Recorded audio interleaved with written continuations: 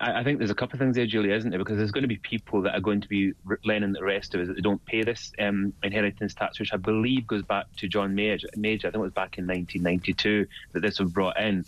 And of course, like myself, who have lost family members in recent years, uh, you, you pay tax, and, and a lot of people will probably find that part unfair, which I can understand. Uh, and then the other part, as you mentioned, is obviously Prince Andrew reportedly being unhappy not been given uh, any inheritance. But this is obviously a, a, tricky matter because for those of us that have sadly lost loved ones and you do sometimes come into some money, it always, always ends up becoming uh, a, a, debate or a fallout. Uh, over the money, which is yeah. the, the sad reality. And I don't think it matters who you are. And this just goes to show you, you can even be a senior member of the royal family. And if you feel that you've you've you've kind of been disinherited, which is possibly that's what's happened, then it's it's obviously he, he's making that known. Yeah, absolutely.